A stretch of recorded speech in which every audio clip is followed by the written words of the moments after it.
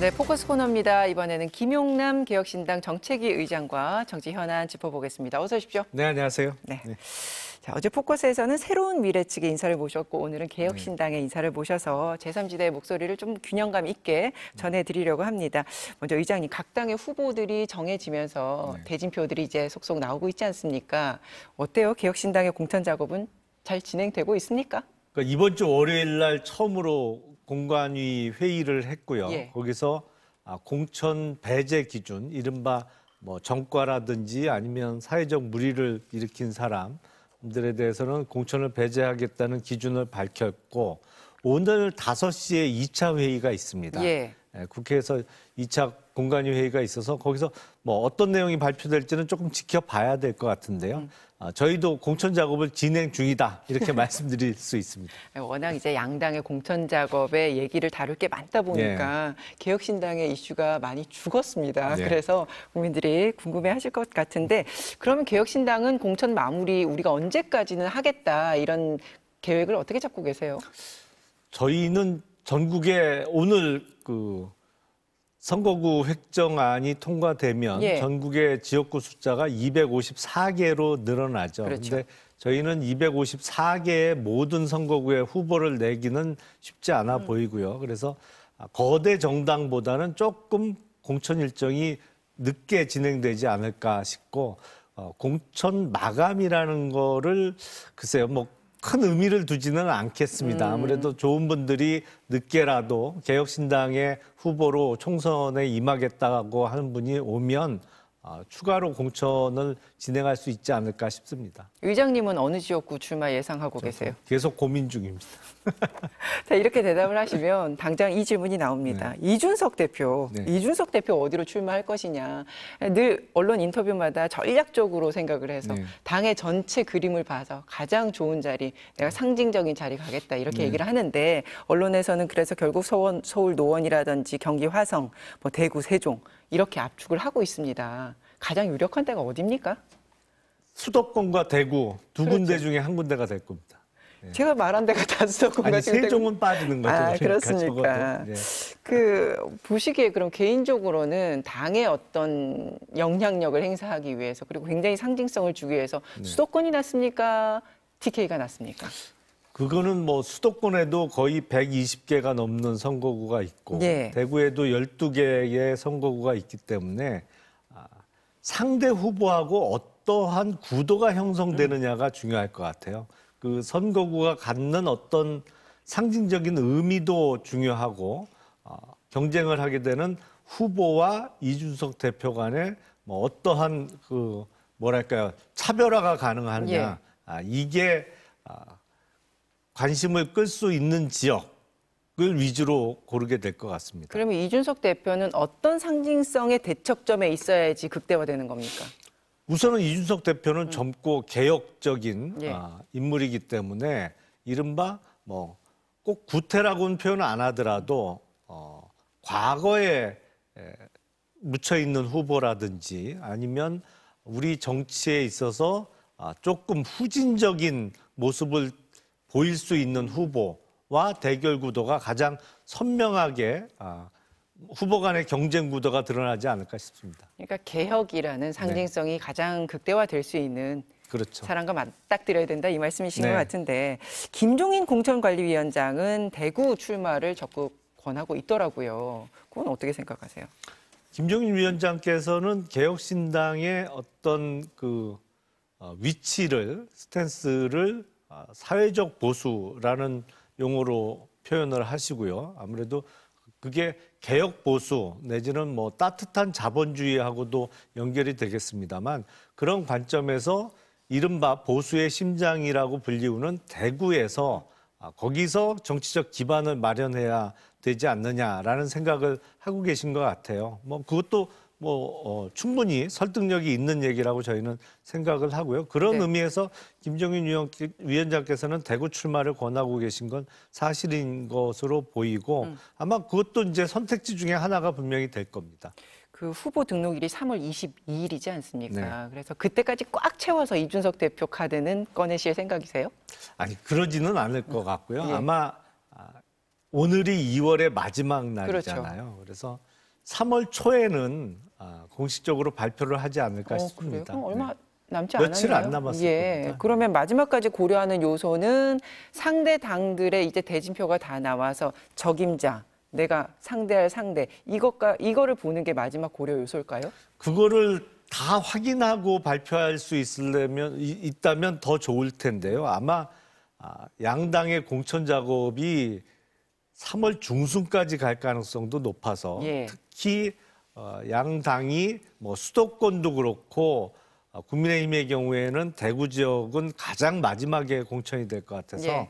그걸 확인하고 출마 선언을 하기에는 조금 너무 늦어질 음. 것 같고요. 아, 대략 예상되는 구도 어, 그리고 무엇보다도 개혁신당이 이준석 대표가 갖고 있는 어떤 포션 내지는 개혁신당에서 차지하는 위치가 아, 워낙 중요하기 예. 때문에 아, 대표가 지역구를 출마하더라도 최대한 당사를 비우더라도 당사에 그러니까 중앙에 있는 것과 같은 효과를 낼 수 있는 언론의 관심을 많이 끌 수 있는 지역으로 선택을 하지 않을까 싶습니다. 그 말씀을 듣고 보니까 이제 본인이 지역구에 나가더라도 그것 외에도 다른 지역구에 대한 지원 유세라든지 전국적으로 어, 본인의 어떤 영향력을 행사하는 그런 역할을 하게 될 거라고 들리는데 그 상징적으로 떠오르는 류호정 전 의원이요. 지금 성남 분당 갑에 출마를 선언했던데 네. 여기서도 이준석 대표가 함께 지원 유세하는 그런 모습 저희가 볼 수 있게 되는 건가요?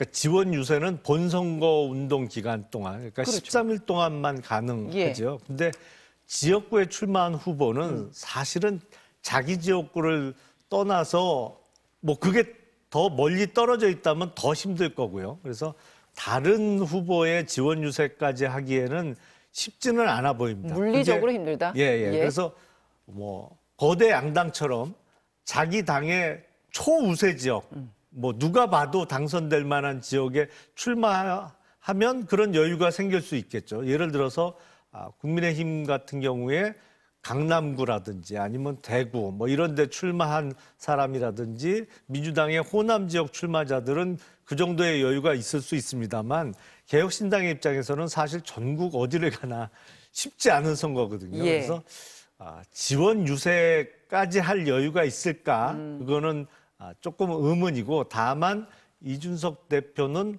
당 대표로서 당사나 아니면 국회에 아, 본회의장, 본회의장이라기보다는 개혁신당이 최고위원회나 이런 회의를 할때 아, 앉는 그 자리를 비우더라도 그 이상 아니면 그만큼 언론에 등장해서 개혁신당의 어떤 지지율을 끌고 갈 수 있는 아, 그런 본인의 본인의 선거 운동으로 당 전체의 지지율을 끌고 갈 수 있는 그런 선거구에 출마하지 않을까 싶습니다. 예, 제가 류전 의원의 지원 유세를 여쭤봤던 건 네. 이 개혁신당 안에서의 어느 정도의 화합이 지금 가능하고 있는 것인지 그게 여쭤보고 싶어서 제가 어, 했던 아, 건데 화합은 가능한데요. 예. 아, 유호정 후보 이외에 어떤 후보도 이준석 대표가 지역구 출마자로서 지원 유세를 다닐 정도로 여유가 있을 것 같지는 않다는 취지에서 음. 말씀드린 겁니다. 알겠습니다. 이준석 대표가 삼고 초려해서 모셨다고 알려진 김종인 공관위원장이요. 네. 이번에는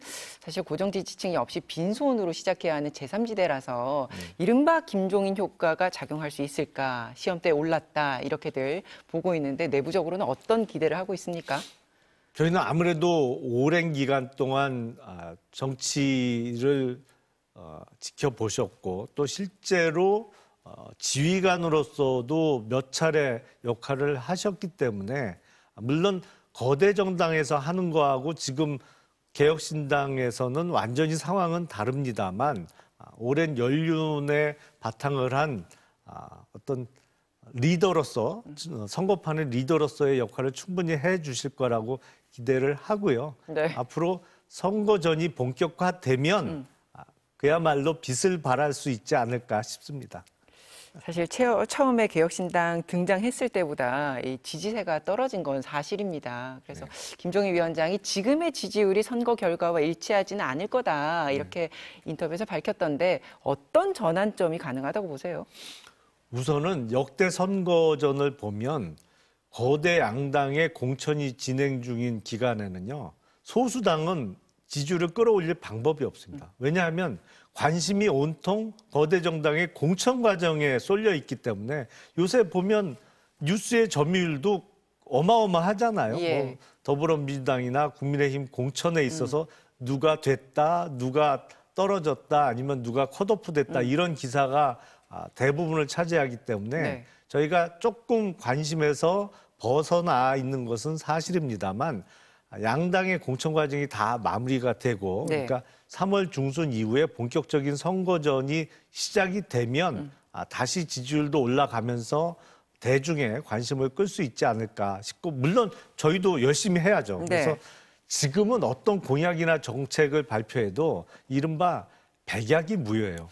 그냥 지금 시점상 예. 뭔가를 드러내도 지금은 소위 말해서 먹히지 않는다. 아니 뭐 지금 뭐. 요 며칠 동안은 그냥 임종석 실장 뉴스에 다 킬 당하는 수밖에 없기 때문에 네. 아, 저희도 아, 요 이른바 보릿고개를 좀 잘 넘고 어, 공천이 끝나면 예. 아, 제대로 준비한 것을 좀 보여드릴 생각을 하고 있습니다. 그럼 그 시점에 맞춰서 양당의 공천 작업이 마무리되는 다음 달 중순 네. 그때 맞춰서 어떤 전략을 보이실 건데요? 아, 공약도 지금보다 훨씬 더 풍부하고 어, 섬세한 공약 발표를 할 거고요. 예.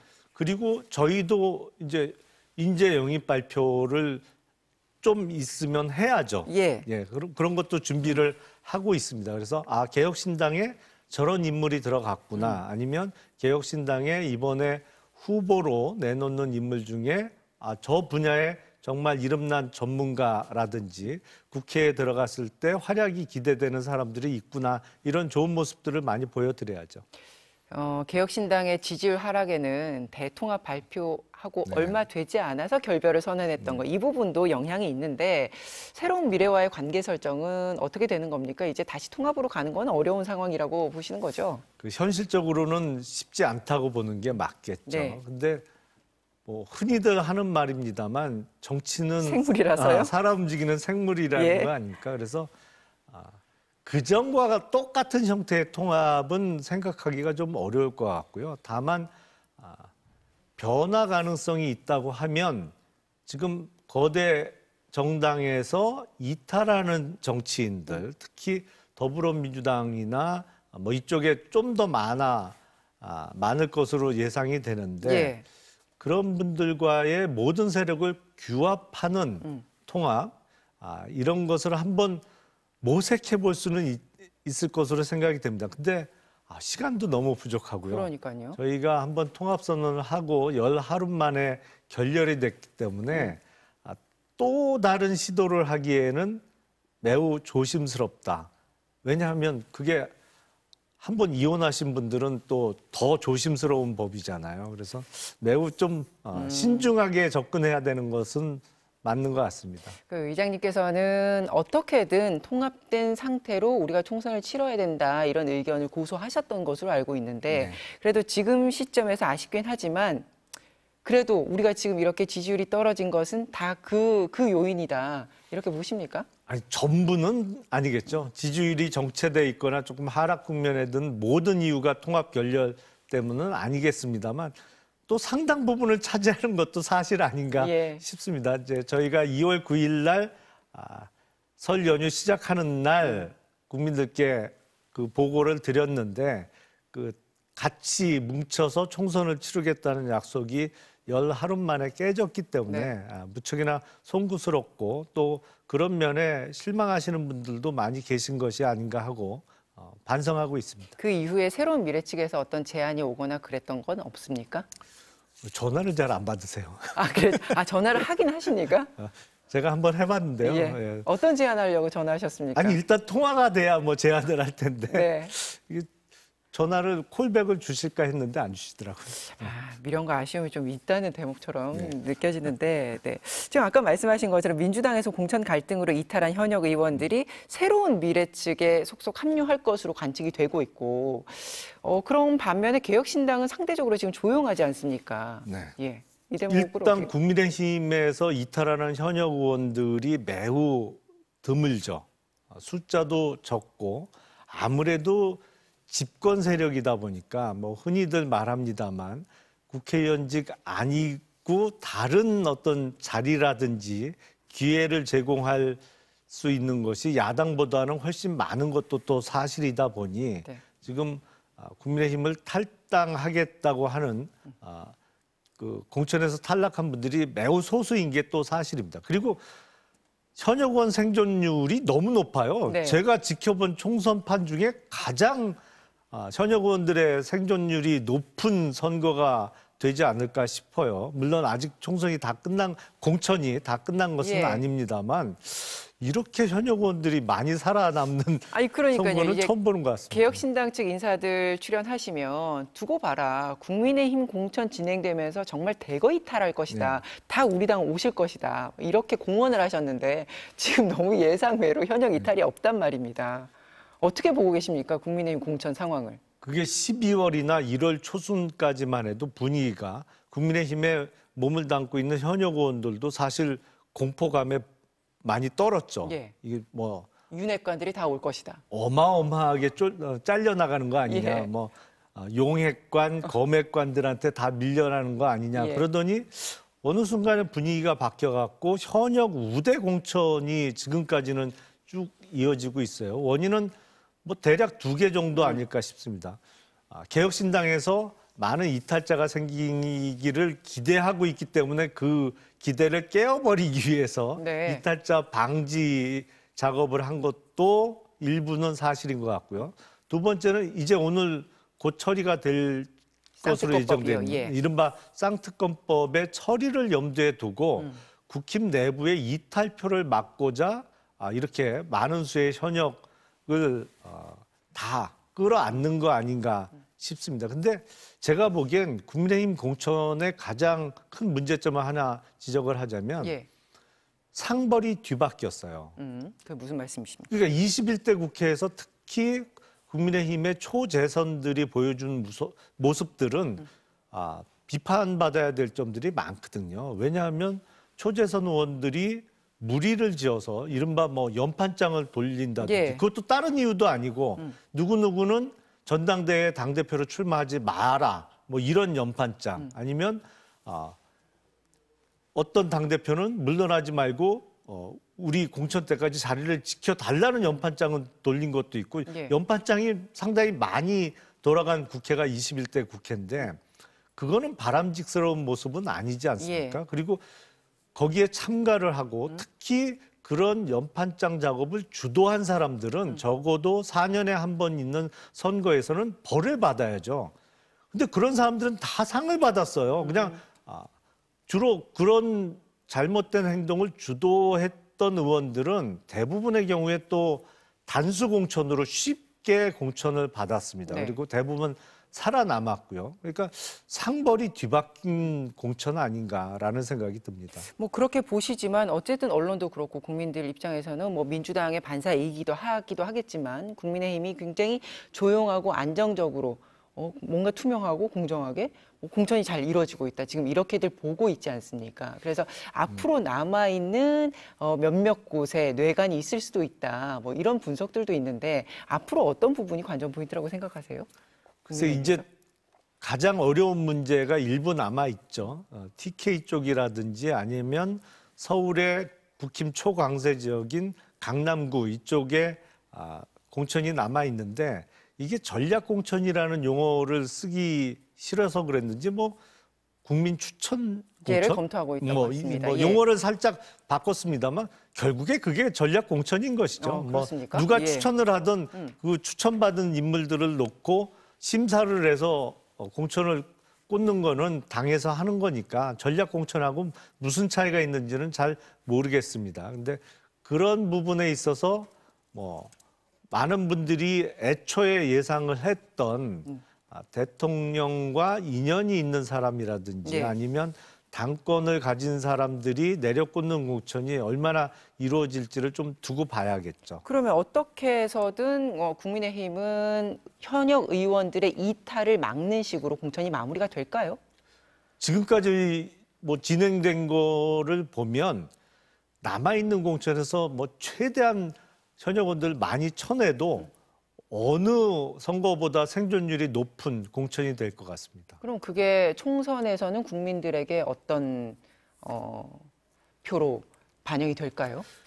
글쎄 선거는 근데 항상 상대적이잖아요. 예. 그러니까 아, 거대 정당을 놓고 물론 저희 같은 개혁신당도 그 경쟁 대열에 끼겠습니다만 아주 좋아서 아니면 정말 예뻐서 찍는 표보다는 X 자를 치다 보면 여기는 안 되고 저기는 이래서 안 되고 하다 보면 남는 어, 후보 내지는 남는 당에다가 표를 주시는 경우도 상당수가 있기 때문에 아, 어떤 게 최악이고 어떤 정당이 차악의 공천을 했느냐를 놓고 국민들께서 판단을 하시겠죠. 그러니까 시끄럽고 요란하고 막 파열음이 나는 공천하고 예. 조용하기는 한데 아무런 변화가 없는 공천하고 결국에 판단은 국민들께서 하시겠죠. 결국 그래서 국민의힘에서 현역의 이탈이 많지 않을 상황이 되면 네. 사실 지금 기호 3번도 아쉬우실 텐데 네. 그러면 어떻게 됩니까? 매우 아쉽죠. 예. 지금 아, 결국엔 그 입당하는 현역 의원 수가 많아야만 앞번호를 그렇죠. 예. 받는 거기 때문에 일단 그리고 당장 현역 의원이 다섯 명은 돼야지 같은 번호를 받을 수 있는 것 아닙니까? 다섯 명인데요. 예. 그 다섯 명이 지역구 국회의원 다섯 명입니다. 그렇죠. 그러니까 비례대표는 어, 제외하고요. 예, 예. 그래서 저희가 아, 현역 국회의원이 네 명인데 예. 지역구 국회의원은 세 분 계시거든요. 그러니까 지역구 의원이 두 분은 더 들어오셔야 공통된 기호를 받은 후보들이 선거를 뛸 수 있습니다. 그래서 아마도 어, 오늘 밤에도 이준석 대표가 예. 영입 작업을 하지 않을까. 왜냐하면 내일 좀 쉬는 날이니까 여유가 있어서 오늘 밤에도 아, 그 작업을 할 거라고 저는 생각을 하고 있습니다. 알겠습니다. 이 양당의 정치 부재에 질려버린 국민들이 이번 총선만큼은 제3지대에 대해서 무조건 표를 줄 것이다. 그만큼 기대감이 높다. 이런 전망들이 애초에 있었는데 지금 정작 공천이 한창 진행되다 보니까 유권자들도 결국에는 정권 심판이냐 그리고 야당 심판이냐 뭐 이렇게 표로 나뉠 것이다. 이렇게들 분석을 합니다. 어떻게 생각하십니까? 공교롭게 이게 총선은 총선이어야 되는데 분위기가 아, 대선의 연장전 같은 분위기가 만들어지고 있어요. 네. 어, 그게 윤석열 대통령과 대, 대선에서 겨뤘던 이재명 대표가 제1야당의 대표직에 있는 것도 좀 특이한 상황 같고요. 그리고 윤석열 대통령께서 사실상 선거 전을 하고 계시잖아요. 네. 뭐 아, 대통령실에서는 부인을 하고 있습니다만 민생 토- 토론회라는 형식으로 전국을 돌아다니면서 지금 행사도 하고 계시고 어디 방문 일정이라든지 이런 거를 계속 잡고 계셔서 어떤 측면에서는 지난 2022년 3월 9일 대통령 선거에서 후보로 뛰었던 분들이 네. 다시 이 총선판에도 어, 플레이어로 뛰고 있는 거라는 생각이 듭니다. 그러다 보니까 거대 양당의 아, 빨아들이는 힘이 더 어, 여느 총선보다 더큰 거라 저희 같은 소수당에서는 어려움을 겪고 있다고 생각이 되는데 그럼에도 불구하고 예. 열심히 하는 수밖에 없죠. 뭐. 알겠습니다. 그 더불어민주당의 지금 공천 갈등이라고 표현이 되고 있는 이 상황은 어떻게 보십니까? 뭐 이재명 사당화 이런 거는 여러분들이 지적을 해 주시고 있고요. 제가 보기엔 한총련 세대에 의해서 전대협 세력이 밀려나는 상황 아닌가 싶습니다. 물론 한총련 세력 중에는 실제 아, 더불어민주당의 공천을 받아서 출마하는 사람은 일부에 불과합니다만 지금 이재명 대표의 배후 세력이라고 일컬어지는 가장 강력한 또 지지 그룹이라고 알려져 있는 더민주혁신회의 이 모임 자체가 한총련 출신들이 많이 관여가 되어 있고 또 모임을 주도하고 있는 것도 사실이지 않습니까? 근데 그 대학의 운동권 세대로서는 한참 후배인 세대들이 1980년대 학번의 선배 세대를 밀어내고 있다. 저는 이렇게 보입니다. 그 개혁신당이 낙 천된 민주당 후보들을 영입할 가능성은 어느 정도로 보십니까? 저희도 노력은 하고 있습니다. 예. 네. 그리고 아, 저희가 모든 분들을 뭐다 영입할 수는 없을 거고요. 또 나름대로의 기준도 있습니다. 그러니까 각 정당에서 지금 이탈하는 현역 의원들이 속속 나오고 있습니다만 네. 저희가 거대 양당에서 벌어지고 있던 이른바 패권주의에 반대해서 어, 신당을 만든 것이기 때문에 그 패권주의의 이른바 피해자로서 나오는 분들은 적극적으로 환영을 합니다만 왜 가끔 그런 경우가 있잖아요. 이 패권주의라는 게 어- 어떤 측면에서는 일진놀이 비슷하다고 저는 생각을 하거든요. 네. 그러니까 심센 학생들이 심없는 학생 막 괴롭히는 건데 같이 막 괴롭히는 멤버로 참여를 하다가 다른 사유로 이렇게 배제된 네. 아, 이런 분들은 좀 같이 하기가 어렵지 않을까라는 음. 생각이 듭니다. 네. 한 2주 전인가요? 저희가 제3지대 특집해서 의원님 출연하셨을 네. 때만 해도 모두가 네 분께서 굉장히 힘이 있으셨어요. 두고 그때는- 봐라, 두고 봐라 이렇게 하셨는데 지금 좀 힘이 빠지신 것 그때는 같아서. 통합이 결렬되기 전이었기 때문에 그러니까요. 그래서 어, 개혁신당만의 차별화된 정책 앞으로 이것만큼은 네. 우리가 이슈화 시킬 수 있다. 이거 말씀하실 수 있는 기회 드리겠습니다. 우선 저희는 예. 아, 실천하지 못할 어마어마한 예산이 소요되는 정책이나 공약은 발표하지 않습니다. 지금까지도 그래 왔고요. 선거전이 본격화되더라도 지키지 못할 약속은 하지 않겠습니다. 그리고 무엇보다도 저희가 지향하고 있는 우리 사회의 모습은 중산층이 보다 더 두터워지고 중, 중산층의 삶의 기준이 올라가는 정치를 하겠다는 것을 목표로 삼고 있기 때문에 네. 중산층의 자산 증대를 아, 일으킬 수 있는 정책들 그 중에서도 어, 특히 부동산 자산보다는 금융 자산, 뭐 주식이나 이런 부분에 있어서 중산층이 삶의 아, 든든한 버팀목으로서 금융 자산을 보다 많이 보유할 수 있고 그 값어치가 올라갈 수 있는 쪽으로 정책 개발을 지금 하고 있습니다. 알겠습니다.